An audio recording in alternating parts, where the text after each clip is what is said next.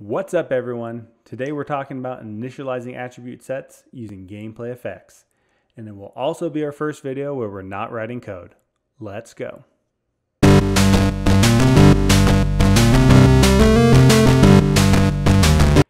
This first part could be considered optional, but I highly recommend it.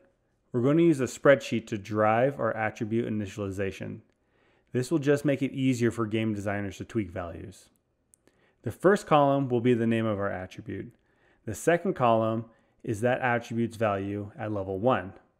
My game won't have leveling, so I'll just have the values for level 1, which will be the base and default values for the attributes. Now that we have our spreadsheet all filled out, let's get this data imported into Unreal. Before we can do that though, let's create a folder called Data, just to keep things organized. Next, click the Import button or drag and drop the CSV file of your character attributes into the editor. You'll be presented with some options. Select Curve Table.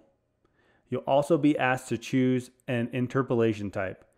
This is used to help fill in the gaps between data points. We have some options to choose from like constant, linear, and cubic interpolation. Today we're just going to choose constant. If we open the curve table, you can now see our CSV data populating the table. And now that we have our data in Unreal, we can now use it to initialize our gameplay attribute set. We're going to create another folder called abilities. And inside that folder, we'll have a subfolder called effects. Next, we're going to create a new blueprint that extends the tutorial gameplay effect. This is the class that we previously created. We'll call this GE character attributes. Now this is where the fun begins. We'll start by giving this effect an ID. This will be used if we ever want to access or query this gameplay effect. The gameplay effects section of this blueprint is where we can add, remove, or manipulate our character stats. The purpose of this effect that we're creating is to simply define and set our character's base stats.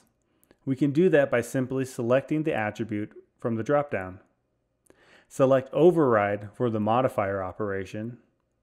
We will leave the magnitude calculation type as scalable float. You'll see why in a second. We can select our curve table and then the property from that table we are simply multiplying the value with the scalar by 1, thus giving us the base value from our CSV file. Finally, we can open up our character blueprint, go to the default effects array, click the plus button and select the effect we just created, GE character attributes. If we press play, then open the console using the tilde key and type show debug ability system we can activate UE4's debug view for the gameplay ability system. And we can now see our health attribute on our character. And it is set to 100, just how we had it in our CSV file. Thanks for watching everybody. In our next video, we're going to create our first ability leveraging our character attributes.